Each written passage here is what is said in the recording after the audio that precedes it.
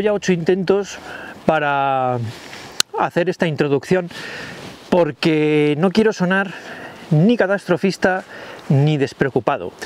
Mm, no es un tema para bromear, tampoco para ponerse en plan siniestro, pero creo que es importante conocer la información ya que nos puede afectar de manera muy directa.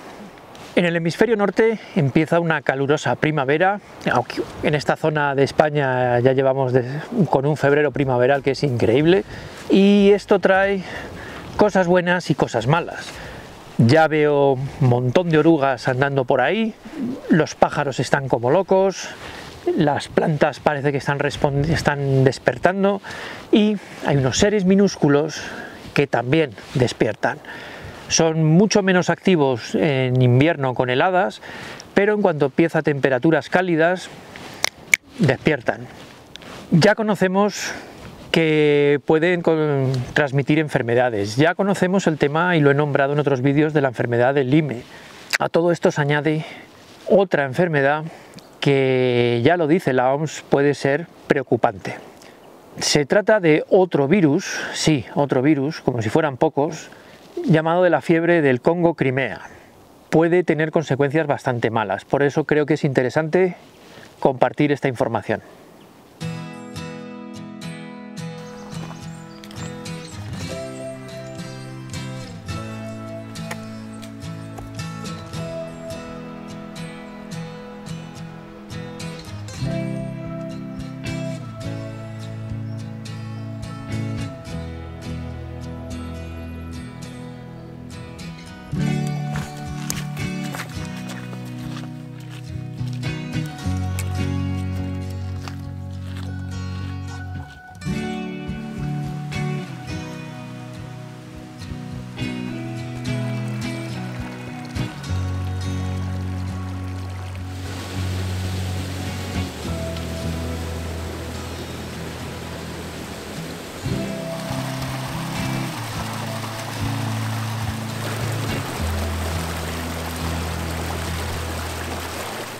Muy buenos días desde Melon Bites.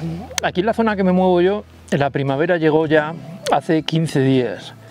Muchos conocéis ya mi preocupación con las garrapatas, pero y dejadme contaros unos datos que creo que pueden ser útiles para todos.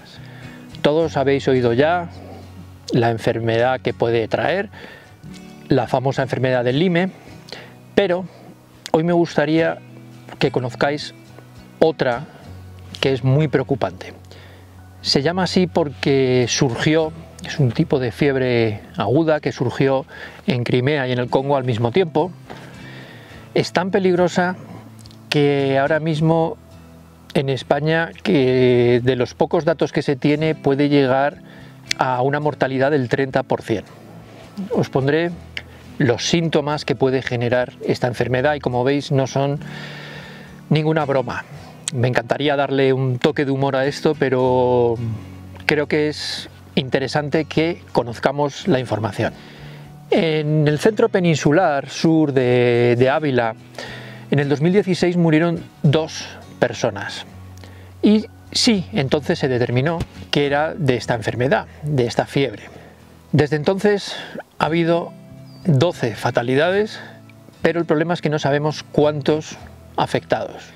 Se ha determinado que el origen proviene de unas fincas de Salamanca, unas fincas de caza, y no, no tiene nada que ver esto con la caza. Es un tipo especial de garrapata, os pongo en pantalla el nombre, ha encontrado un poco su hábitat en la zona sur de Ávila, Salamanca, norte de Cáceres. Y su hábitat lo ha complementado con los ciervos. Ha encontrado un animal portante en los ciervos. Bueno, en este mapa, como podéis ver, veis las zonas con máxima probabilidad de que existan este tipo de garrapatas con este tipo de enfermedad. Esto no hay que tirarse las manos a la cabeza, simplemente los que vayáis a estas zonas o viváis en estas zonas, tener las máximas prevenciones.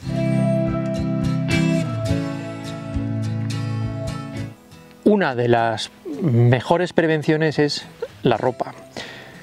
Manga larga, Sé que en verano es complicado, sobre todo los pantalones, pero manga larga, camisetas, manga larga, pantalones, calcetines, pues que sean altos, no bajos, como utilizamos mucho en verano.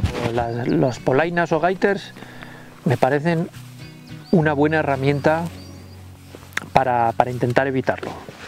Se recomienda mucho llevar colores claros porque es más fácil identificar las garrapatas.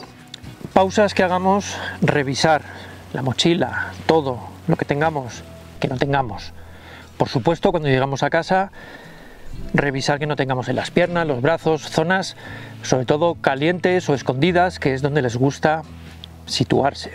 Es un problema porque no detectamos, no es como una avispa o un mosquito que notamos que nos pica. Las garrapatas no te das cuenta y puedes tener varias. Compensa el vigilarlo. Muy importante la prevención y es un poco latoso, pero es el uso de sprays, de productos o para matarlas o para repelerlas. Ya tenéis un vídeo por aquí donde hablaba la combinación que utilizo yo, que es para las cosas que no tocan mi piel, zapatillas, mochila, pantalones, tienda de campaña. Utilizo la permetrina. Tiene la ventaja que dura bastante los tejidos, pero hay que tener cuidado con la piel y hay que tener cuidado con ciertas mascotas como los gatos. Por supuesto, evitar que se derrame en cualquier riachuelo o en cualquier lago porque puede matar también a, los seres vivos que allí habitan. Luego están los repelentes que tienen la desventaja que duran mucho menos, normalmente duran 24 horas o incluso menos, tenéis cada ruta que hacéis echaros mm, y son los ideales para echarse en las piernas, en los brazos, un poco por encima, si no habéis echado permetrina, no está de más si hacéis rutas largas llevar un poco encima, si os encontráis con zonas con más... Otro punto importante es la prevención. A ver, no me vais a ver sentados en matorrales o en hierbas altas. Intentar evitar, dentro de lo que cabe, porque muchas veces es imposible, tanto el paso como, pero sobre todo sentarse, echar la mochila y todo, pues en prados o en sitios donde les sea cómodo estar a las garrapatas, sobre todo si ha pasado ganado, animales, jabalíes, sobre todo ciervos, obviamente. Por eso las rocas puede ser un buen punto para estar, intentar para estar menos en contacto con ellas. Eso no significa que no exista el riesgo. Y ya por último, ¿qué hacemos si nos encontramos que tenemos una o varias garrapatas? Lo primero es tener un artilugio, yo tengo una, es como una tarjeta de, de pago que tiene dos formas. También existe la posibilidad con pinzas especiales extraerla de forma correcta lo antes posible en cuanto la localicéis. Mm, leí que lo hacen en algunos centros médicos y me parece muy interesante. Si lleváis el gel hidroalcohólico, es echarle un poquito de gel y esperar un minuto o dos a que se atonte un poco. En ese momento va a ser más fácil extraerla. Si podéis guardarla, tenéis algún modo de guardarla, guardarla, porque pueden hacer análisis y ver si es transmisora o no.